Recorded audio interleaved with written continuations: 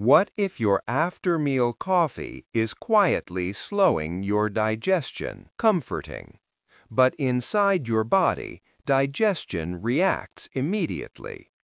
As coffee enters the stomach, its caffeine and acids caffeine also signals the stomach muscles to contract sooner, pushing food forward before it's fully broken.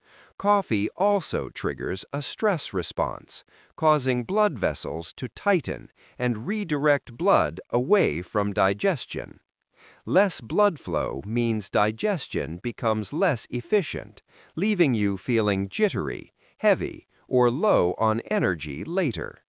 That's why drinking coffee immediately after meals can interfere with smooth digestion for some people. So here's the question.